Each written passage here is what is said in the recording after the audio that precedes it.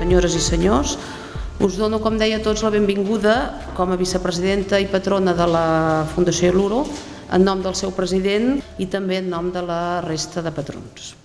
Amb el plaer d'inaugurar a Mataró aquesta exposició que, amb motiu de l'any de les biblioteques, 2015, es va exhibir al Palau Robert de Barcelona entre febrer i maig d'aquest any perquè el que hi ha darrere d'aquesta exposició és també el que hi ha darrere dels orígens de la nostra, i quan dic nostra vull dir de tots, de tots els mataronins, Biblioteca Popular.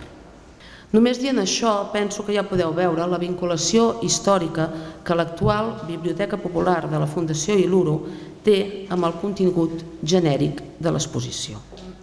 Estic molt satisfeta de, de poder-me adreçar a tots vostès, aquí en, en el moment de la inauguració d'aquesta exposició tinc molts lligams eh, sentimentals amb Mataró i per mi és com una segona casa, per tant m'hi trobo sempre molt a gust. Aquesta exposició té però com a fil conductor la nostra història, la història del nostre centre. Eh?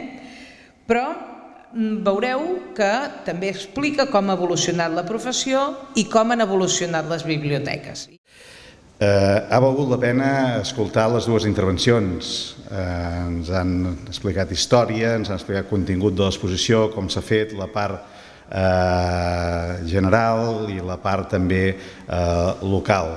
Però també felicitar la Fundació Iluro per l'interès en portar-la a casa nostra i poder-ne gaudir i a més a més complementar-la doncs, amb aquesta part de la nostra biblioteca popular ara de la Fundació Iluro abans de la Caixa i que ara, encara, ara encara i durant molts anys ha estat doncs, cobrint un dèficit que aquesta ciutat té en biblioteques.